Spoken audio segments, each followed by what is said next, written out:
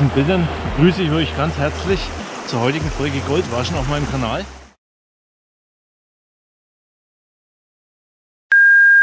Ja, hallo liebe Goldsucher. Hier ist wieder euer Goldsucher Klaus und ich bitte euch, das Video zu teilen, bevor die da oben das löschen. Denn ich habe jetzt die Wahrheit übers Gold suchen. Und das ist jetzt kein Spaß, sage ich euch. Ich habe nämlich recherchiert. Ja, und da bin ich auf so einer Facebook-Gruppe auf so einen Professor und noch so einen anderen gestoßen. Und so ein, so ein Doktor und so ein Anwalt war auch noch mit dabei. Ja, und da haben wir das zusammen analysiert, die und ich. Ja, und ich sage euch, das ist kein Spaß. Ja, ihr müsst wissen, Gold, das besteht aus vier Buchstaben. Und außerdem ist Gold die Ordnungsziffer 79. Na, ich glaube nicht, dass das ein Zufall ist. Weil 79 ist das Geburtsjahr von meiner Frau. Ja, außerdem sage ich euch, dass die Zahlen, wenn man die von dem G, von dem O, von dem L und von dem D, wenn man die anschaut und zusammenzählt, da kommt man auf 36, 7, 15, 12 und die 4. Und das sind zufälligerweise auch meine Geburtsdaten von meiner Frau und von meinem Neffen. Also wenn das mal kein Zufall ist, sage ich euch, diese ganze Verschwörung, die heute im Land rumgeht, um uns Goldsucher unser Hobby zu verbieten, das ist alles oben von der Greta, sage ich euch, von der Greta. Ob das Zufall ist, ich glaub's nicht. Schaut euch doch mal die Kluft an. Da die gelbe Jacke hat sie an. Gelb, das ist die Farbe vom Gold. Und in dem Moment, wo Corona erschienen ist, war die Greta weg. Sind das alles Zufälle? Ich glaub's einfach nicht. Ich, ich sag's euch, die stecken alle unter einer Decke. Alle, alle da drüben. Die wollen uns unser Gold suchen wegnehmen. Aber nicht mit mir. Auf keinen Fall. Und eins sage ich euch. Ich habe nachgezählt.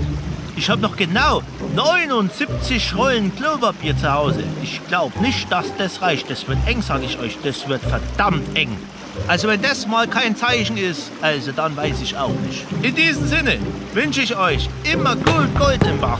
Und in der Pfanne natürlich auch. Bleibt gesund, bis die Tage. Euer Klausi.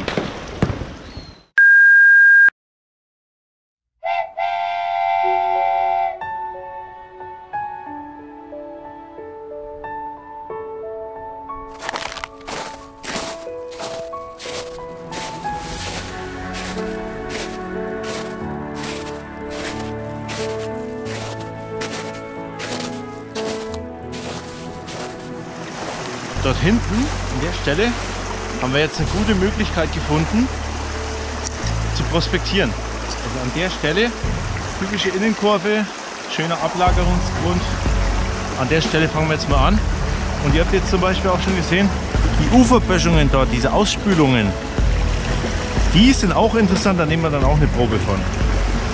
Im gesamten Gebiet wurde viele hundert Jahre Gold abgebaut, teilweise Stücke 3-4 mm groß. Jetzt schauen wir mal, ob was in der Pfanne drin ist.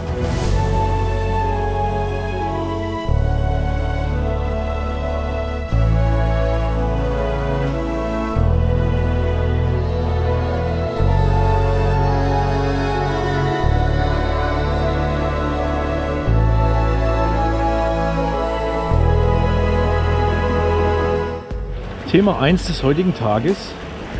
Wo kann ich denn überhaupt nach Gold suchen? In so einem Bach. Wie fange ich da am besten an?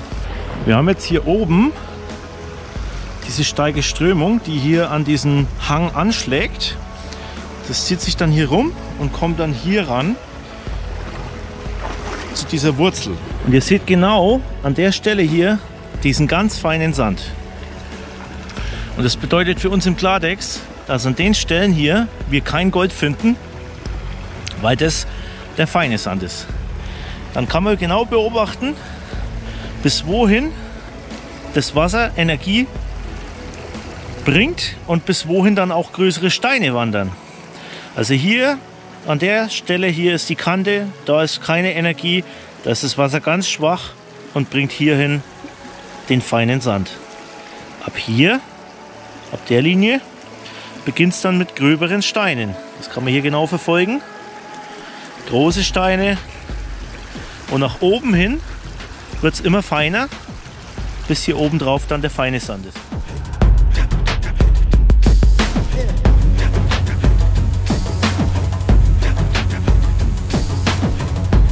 Das sind so kleine Eisenbrocken, die sind ja ziemlich schwer.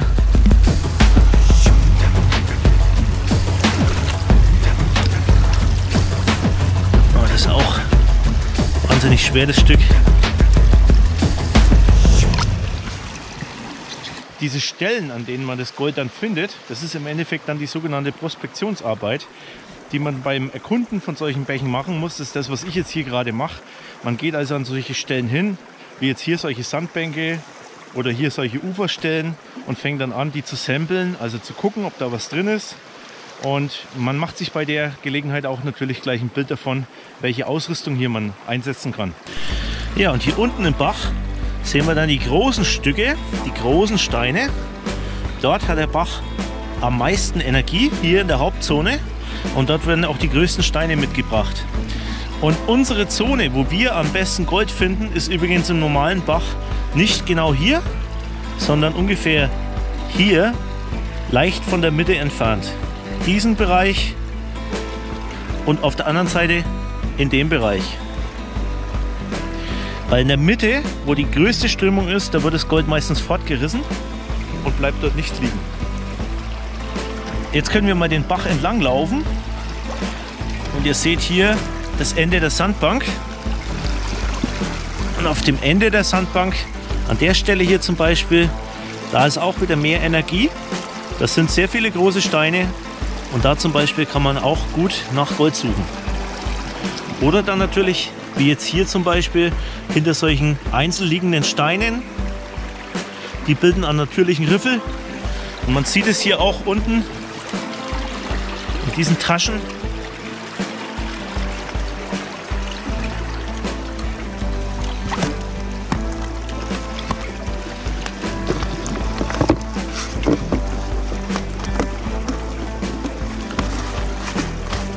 Mit Quarz angereichertes Gestein.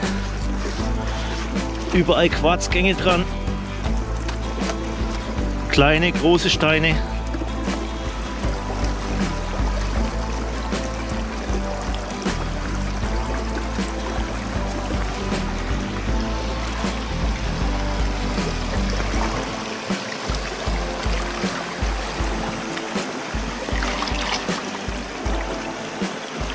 Ja, und auf diesen Moosstellen hier zum Beispiel, da kann dann durchaus auch das eine oder andere Goldflitterchen draufhängen. Wenn man sich das mal genau anschaut. Und hier hinten, das ist ganz witzig, dass man das jetzt hier gerade sieht. Seht ihr diese Verwirbelung? Wie da der Sand aufgewirbelt wird.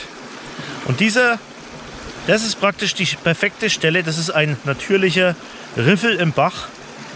Die müsste man normalerweise mit einer Pumpe absaugen. Da könnte man wahrscheinlich was drin finden.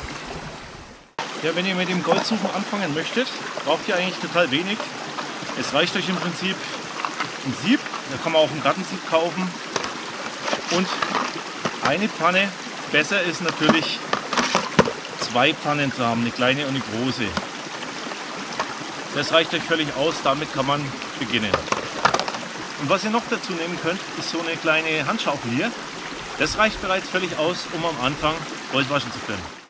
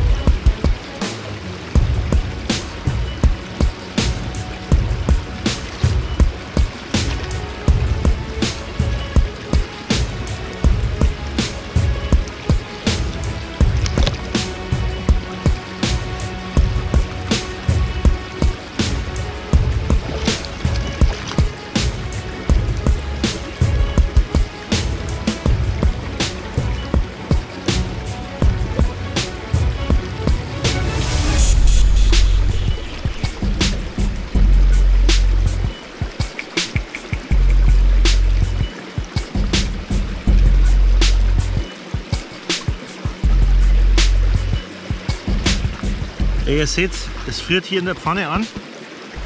Also das Ganze, was ich hier eigentlich ausspülen will, das gefriert am Pfannenboden fest.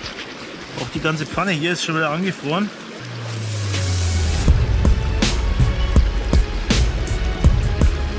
Ist natürlich blöd zum Auswaschen, weil das ganze Material hier in die Pfanne reinfriert.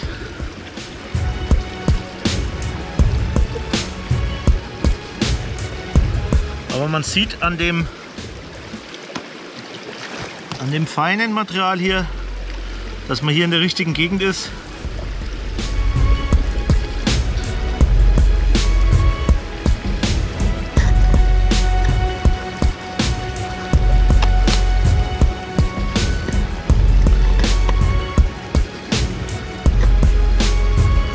Und wenn man in der richtigen Gegend ist, dann ist es nur noch eine Frage der Zeit, bis man dann auf Gold stößt. Wann setze ich denn mein Equipment überhaupt ein? Wann nehme ich denn was oder was brauche ich denn ganz am Anfang zum Goldwaschen? Ja, solange ich in dem Bach auf jeden Fall noch nicht weiß, was ich da genau vorfinde, reicht Minimalausrüstung aus. Das könnt ihr im Prinzip in dem Turnbeutel mit euch mitnehmen. Und ähm, erst später, wenn man dann die Stelle gefunden hat, an der man hingehen möchte, dann kann man sich die größere Ausrüstung mitnehmen und auch mal eine Waschrinne mit einpacken. Das ist dann kein Problem.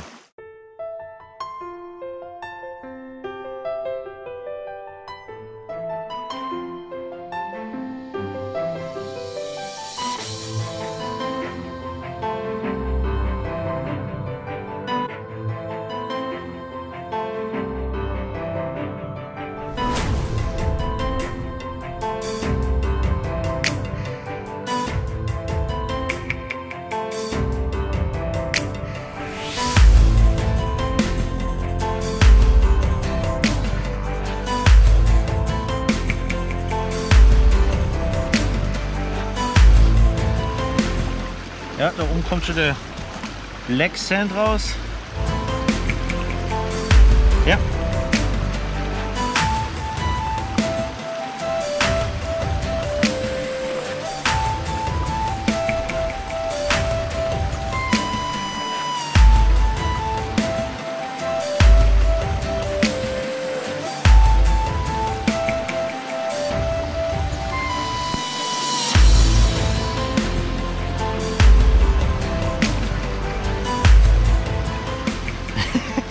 Leider ist das alles eingefroren. Das gibt's hier gar nicht. Das ist zur Eiserstadt. Aber wir haben was. Alles gefroren hier, schaut her.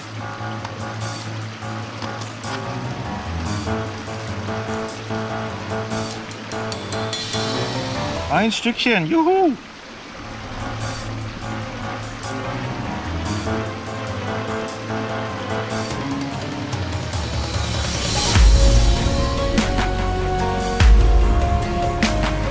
Ja, das war jetzt hier hinter diesen Steinen gelegen.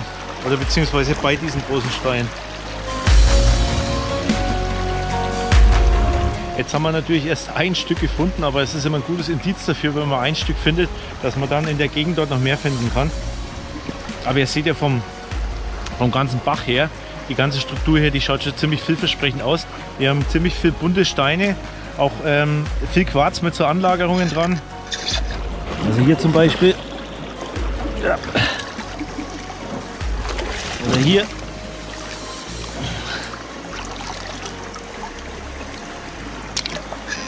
Also so mineralienreiche Steine, das ist immer ein gutes Anzeichen dafür. Ne?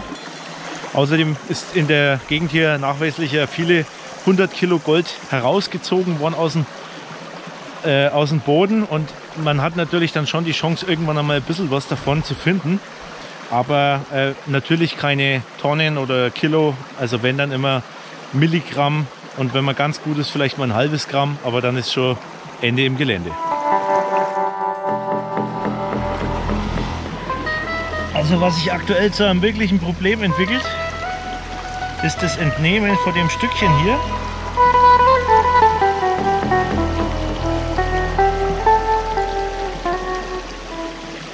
Weil das alles einfriert.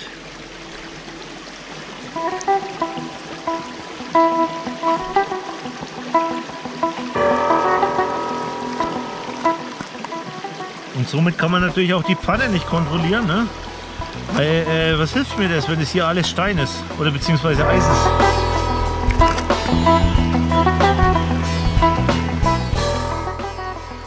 Als nächstes muss man natürlich auch wissen, dass so ein Bach jetzt nicht überall goldführend ist. Ne?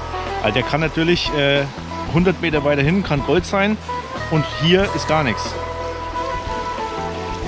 Das ist sehr mineralienreich, das Ganze hier. Ja, man sieht es hier an diesem ganzen Geglitzere da drin. Wahnsinnig viel Pyrit drin.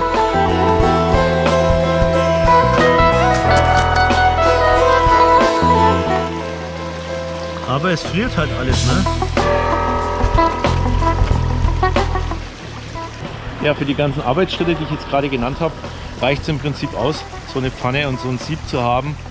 Und ähm, solange ich oberflächlich suche, reicht mir auch so eine kleine Schaufel. Erst wenn ich dann weiter in die Tiefe reingehen möchte, dann brauche ich eine etwas tiefere Schaufel.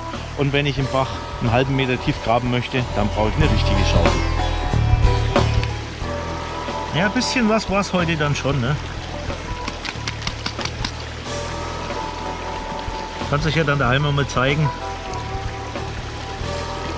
Ein paar Krümelchen sind es schon geworden. Also ich wünsche euch gute Zeit, bleibt gesund, bis demnächst und ich hoffe, wir sehen uns wieder.